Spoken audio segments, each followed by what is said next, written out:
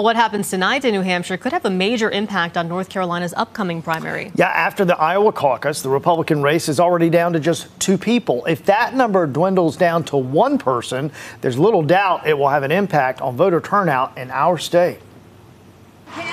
Remember how crowded those early debates were, even without the frontrunner on stage? Three months ago, it did not seem like we were going to have a Republican primary that looked like this. There were over a dozen candidates in. After votes in only one state, we are down to two people. With the looming question tonight can Nikki Haley's campaign survive until her home state of South Carolina's primary? If not, don't expect Super Tuesday to be so super, North Carolina included. I think it means that the Republican electorate is going to be less activated. Frankly, there's going to be probably fewer Republicans who turn out to vote. It's just not going to be a very competitive primary unless somehow Nikki Haley is able to thread this needle that looks impossibly small. That's going to affect turnout greatly. I mean, we don't get huge turnout anyway on primary elections, but when there is not um, at the top of the ticket um, a closely contested election, you know, then we're going to see maybe that number drop by half. Which can impact the down ballot, even with high profile primaries for governor, attorney general, and a crowded Republican field of 14 candidates for Congress in the 13th district. Perhaps one effect we might see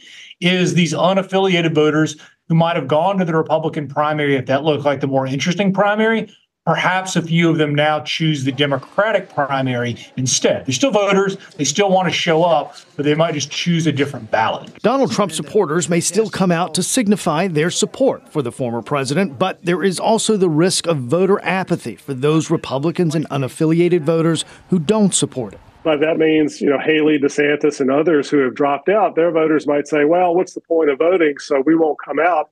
And that could affect uh, the 13th district, uh, any statewide race.